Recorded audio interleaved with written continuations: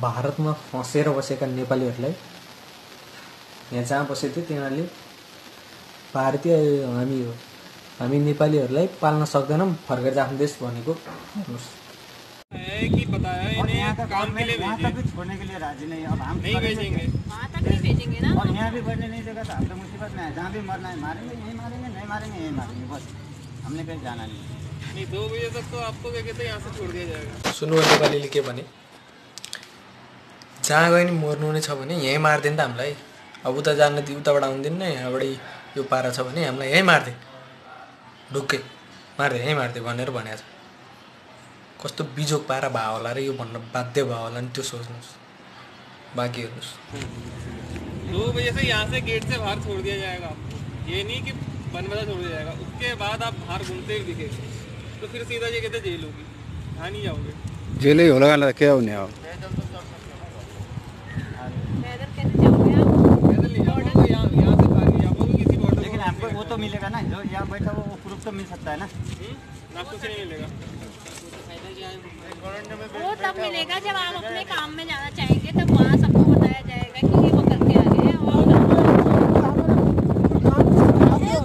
और अब तिमीहरूसित यति घन्टा छ। यति घन्टापछि हामी बाहिर लगाएर छोडिदिन्छौँ जहाँ गइन्छ जे गरेर गर हामीलाई मतलब छैन भनेर पुलिसले भनेको हेर्नुभयो। अनि उनीहरूले के मागे त्यहाँ बसेको रिपोर्ट दिनु सक्नुहुन्छ। हामीलाई बाहिर त पुलिसले गएपछि कुर्छ। यो जो आइसोलेसनमा आइसोलेसनमा बसेको ठाउँ यो। त्यहाँ बसेछन् यिनीहरू यत्रो दिन बसेछन् पन्ध्र सोह्र दिन बसे आइसोलेसनमा। छैन कोरोना भन्ने भइसकेपछि अब जान बाहिर निक्लिला नि त। जुन घरमा छन् त्यो घरले जान्दिन्न कोरोना छैन भने रिपोर्ट दिन्न भनिरहेछ। गर्ने के तिनीहरूले अब? अब काममा फर्किन काम छैन। केही छैन। बिजुको पारा छ। अरू हेर्नुहोस्। आप एक बात बताइए एक बात बाबा एक बताइए आपको नेपाल सरकार भारत सरकार पकड़ के तो नहीं लाएगी यहाँ हमारे देश में? काम करो। तो पकड़ के लाई थी? नहीं लाई थी। आप पैसा कमाने आए हैं। यहाँ पंद्रह बीस दिन रख दिया खिला दिया। अब क्या मतलब हमारे आपका सरकार ले नहीं रही है। क्या भारत सरकार के पास इतना पैसा थोड़ी है कि सब नेपालियों को खिलाते रही फ्री में? सुन्नुभयो देख्नुभयो नि नेपाल सरकारले तिमीहरूलाई वास्ता गर्दैन भने भारत सरकारले किन वास्ता गर्ने? तिमीहरूको आफ्नो सरकारले मरे मर भन्छ भने हामीले किन पाल्ने? यत्रो दिन त पन्ध्र सोह्र दिन त खुवाएर राखिरहेको छ। अझै कति राख्ने हो? सक्दैन हामी भनेर उनीहरूले हेऱ्यो भने। अब इन्डियामा यत्र गरिब छ इन्डियालाई आफ्नोलाई धान्न गाडी भइरहेछ। नेपालकोलाई पालेर बस्न सक्छन् त उनीहरूले। उनीहरूले नि त सही कुरा गरिरहेछन्। हाम्रो देशले हाम्रोले आफ्नो जनतालाई त आफ्नो देशले बचाउन सक्नु पऱ्यो नि त। अब यत्रो दिन राखेर यिनीहरूले कोरोना छैन भनेर पठाइदिनु लासी त। नेपाल सरकारले गरेर यिनीहरूलाई बचाएर आफ्नो देश लान सक्नु पऱ्यो नि त नेपाल लान सक्नु पऱ्यो। खै त?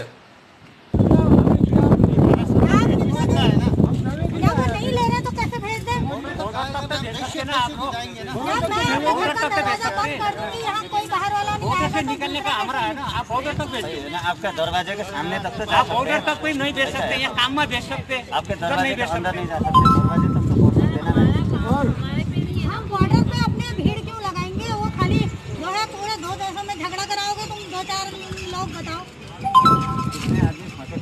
वो लोग झगड़ा नहीं करा रहे हम सोलह सत्रह लोग कैसे झगड़ा कराएँगे सोलह सत्रह आप हो वहाँ होंगे वहाँ होंगे। पूरे देश से ऐसे तो वहाँ हज़ारों की भीड़ इकट्ठा हो जाएगी। ये भी तो है ना आप केवल सोलह सत्रह नहीं हो ना? यहाँ है हमने वैसे भी यहाँ से निकलना है ना? हमें गेट से बाहर निकाल दीजिए। जो भी जो जैसे मारना मारेंगे जो भी करें क्योंकि हम यहाँ कुछ कर नहीं सकते ना मैडम। आप लोगों से रिक्वेस्ट करके इतना ही कर सकते हमने काम में नहीं जाना। अब इससे ज़्यादा हम कुछ कर नहीं सकते। अब हमारे वहाँ होते तो अलग बात थी हम किसी से रिक्वेस्ट करते या कहीं ऊपर से अभी हमारे वहाँ हम बोल ही रहे बात चल रही है। तो वहाँ से फिर हम निकल के आए। वहाँ से इसलिए निकले हमें कोई मजबूरी होगी इसीलिए निकले होंगे ना। आप भी देखो यहाँ पैसा कमाने आए। हम तब आज तक तो कभी नहीं कहा कि यहाँ से भागो है ना? लेकिन अब मलाई जहाँसम्म लाग्छ यिनीहरू एउटा स्टेटबाट अर्को स्टेट पुग्दाखेरि समातेर त्यहाँ क्वारेन्टाइनमा बसेका हुन्। यिनीहरूमाथि औषधि पनि छरिरहेछ। जुन चाहिँ मान्छेले लिनुहुन्न मास्क राम्रो नलाइकन यिनीहरूमाथि पुरा स्प्रे भएको अस्ति जुन भिडियो आएको थियो यिनीहरूमाथि नै पक्का। यिनीहरू चाहिँ नेपाल जानलाई भनेर हिँडे त्यहाँ समातेर त्यहाँ सोह्र सत्र दिन राखिए र अब फेरि निकालिए तर यिनीहरूले अब अर्को ठाउँमा लाठी चार्ज नहोस् कहीँ के नहोस् त्यस्तो खाले केही काट्दैन हामी बसेर आएको अब देश जान पाउने खाले। अनि यिनीहरूले भन्छ बोर्डर नेपालतिर जानु नि पाउँदैन बाहिर गएर गरेर जहाँ बस पहिला जहाँ गएको थियो त्यता जा। बोर्डरमा तेरो सरकार लिनु भन्दैन त्यता नजा। जता गइन्छ। अनि यसको मतलब के मान्छे सबै मोर भन्न खोजेको त भयो नि यिनीहरूलाई पूरे दुनिया में मुसीबत आई है थोड़ा तो आप भी समझो ना चीज़ को। हम समझेंगे नहीं। आप भारत सरकार के तुमको डोली से उठा के लाए थे क्या? बाबा यहाँ काम करोगे इतने बुढ़ापे में? तुम यहाँ आ गए। काम वाले देंगे ना आपको काम काम तो सरकार दिलाएगी आपको आप उस चीज़ की दिक्कत मत लो। सरकार आपको रोज़गार देगी किसी के वहाँ किसी के घर छोड़ जाना आपको काम करने। आपको रहने खाने रोज़गार सब देगी सरकार। हमें दो बजे बाहर निकाल दीजिए जो भी होगा जहाँ भी मरना है एक जगह तो मरना ही। है। तो वायरस से मरना ही मरना है। जो भी मरेंगे, जो। बॉर्डर नहीं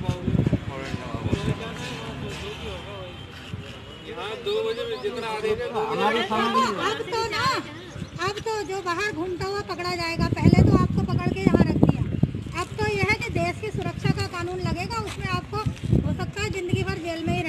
रहना पड़े ब- बसिदिउँला त जिन्दगीभरि क्या अब क्या कर ये कर दिया है ना कर हो कि दिया नहीं? ना हाँ ये। ठीक है सुरक्षा कानून लगेगा जो ठीक है ठीक है देखिए जैसे हमारा दे- फोन नीचे कर दो हाँ नीति बना ली ठीक है हाँ. हाँ. हाँ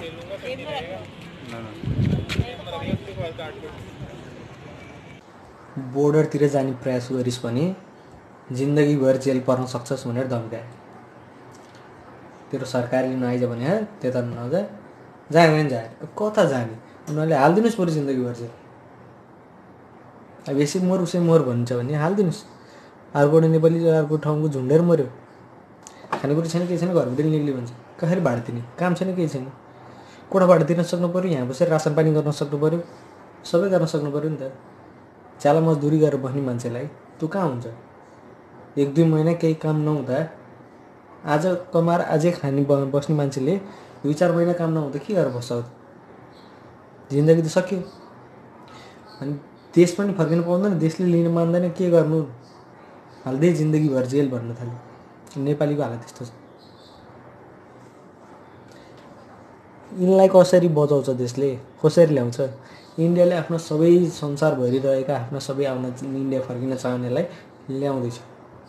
सबै जसो देशले गर्दैछ आफ्नो देशकालाई उद्धार गर्दैछ।